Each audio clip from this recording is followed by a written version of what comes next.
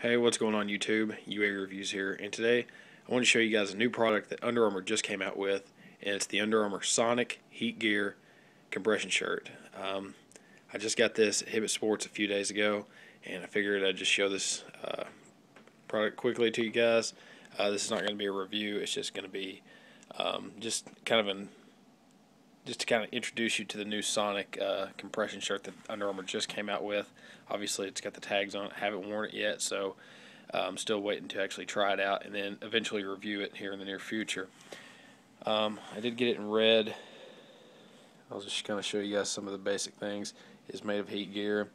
Uh, some of the things that I did notice first off is just how they've kind of changed the stitching on the compression shirt here. So that's definitely something we'll um, kind of see uh, how it affects the shirt.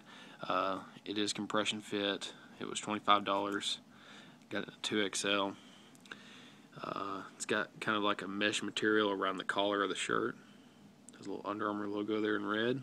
As you can kind of see, it's kind of the little holes there just kind of for the mesh ventilation. Well, and they also changed the uh, logo placement here to the top of the shirt instead of normally where it'd be um, here on the chest on the side.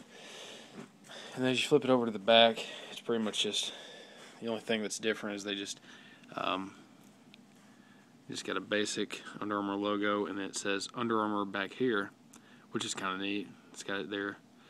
Uh, if you've seen any like uh, Nike's um, compression shirts, they have where it says uh, Pro Combat or Nike Pro Combat back there. So that's kind of something that Under Armour's done now. They've put it on the back. Nothing really else is going on with the back of the shirt. I've tried it on once and I did. I was pretty surprised. It fit very differently uh, than just the original um, compression shirts Under Armour is well known for. But uh, I'm definitely looking forward to uh, reviewing the Sonic um, heat gear compression shirt. Um, now here in a few, probably in the next two weeks, I'm gonna have more reviews coming out. Um, I'm waiting to get on spring break so I can do a whole bunch. I'm right now pretty much tied up in school, so there's not going to be a whole lot of videos or reviews being posted until then. But expect around March 18th is when new reviews are going to be posted. So, um, hope you guys enjoyed this video. I would definitely, um, definitely recommend you guys checking out this video. But until then, uh, um, watch out for my review on the Under Armour Heat Gear Sonic T um, compression shirt. So with that, um, guess we'll see you guys next time. Thanks for watching.